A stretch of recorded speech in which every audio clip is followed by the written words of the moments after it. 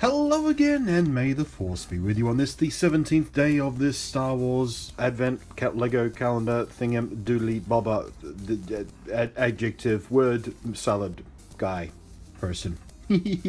uh, except this isn't the 17th day, this is in fact the evening of the 16th day because something uh, a little bit important um, I've got to do with my, my day tomorrow morning on the actual 17th, which is this morning as you're seeing this, but presumably you're seeing this as there's a new movie coming out. It's called the the Force Gets Up in the Morning, or the the Force Wakes Up, or something like that. You may have heard of it. It's kind of a a big deal to, to some people, but anyway, I'm, I'm right now as you're watching this. I'm, I'm sitting in a, in a big dark room with, with flickering lights and and explosions presumably happening.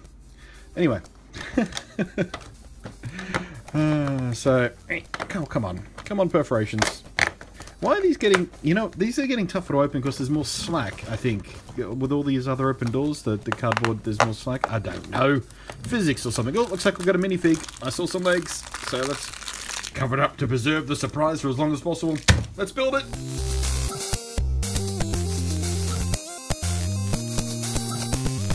Hell yes, score! What we have here is... Uh, uh, actually, let's get rid of that, that second set of goggles. The, the helmet has two positions for the goggles, but I think you're only supposed to wear one at once because, uh, unfortunately, the design won't allow for the goggles to, to hinge properly because there is uh, you have to take them off and put them on his face when you want to wear the goggles. But it is obviously a rebel in uh, the Hoth cold weather gear thingamadoodlers with his...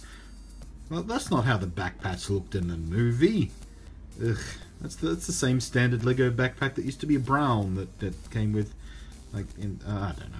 I'm just don't whinge. It's cool. It looks a bit funny. Does his, his, I don't think his helmet quite sits on his head properly. I mean, does his head look a bit too tall in that helmet for you? Actually, let me let me take off the lame backpack. What's going on here? Get the helmet to fit. No, the helmet just sits kind of high on his head for some reason. He's got a lot of a lot of forehead, that guy. but anyway, that's kind of cool. I've never I've never had one of these guys. Um, in in my collection before. Little uh, Hoth Hoth Rebel guy. We'll call it. It's Malcolm. Malcolm the Hoth Rebel guy. M Malcolm Antilles. Because Antilles is the first name that came to mind. But it could be a common name.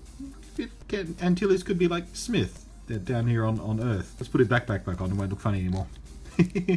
Anyhow, I'm calling that a Merry Christmas. Uh, an interesting minifig is always a happy occurrence. It sure beats the uh, sort of Endor treehouse bull crap that we started out with in, in, like day seven or whatever it was. So, yeah, definitely Merry Christmas. And uh, where's my, oh, I can't, I, I put, I don't have the Stormtrooper within reach, so we can't make them shoot each other on Hoth and stuff. Oh well. Merry Christmas. I'm watching a movie.